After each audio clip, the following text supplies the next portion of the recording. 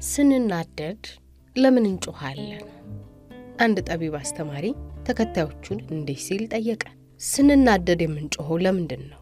ስንቆጣ ለምን እርስ በራሳችን ላይ እናንባርቃለን? ተከታዮቹ ሲያሰላስሉ ቆዩና አንደኛው ይህን መለሰ። እርጋታችንን ስለምናጣ ነዋ። የመጮኻችን ምክንያት ያ ነው። ግን ሌላኛው ሰው እያጠገብህ እያለ መጮህን ምን አመጣው?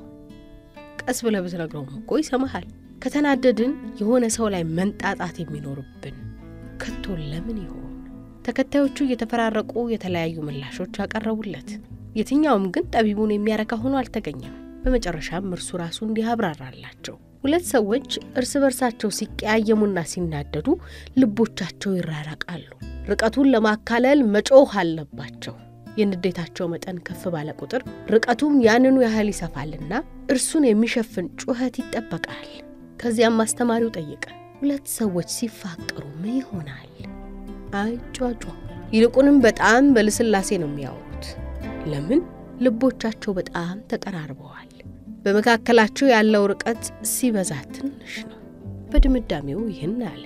ይበልጥ በተዋደዱ ቁጥር ምን ይከሰታል? መነጋገር ያቆሙና ውይይታቸው በሹክሹክታ ብቻ ይሆናል።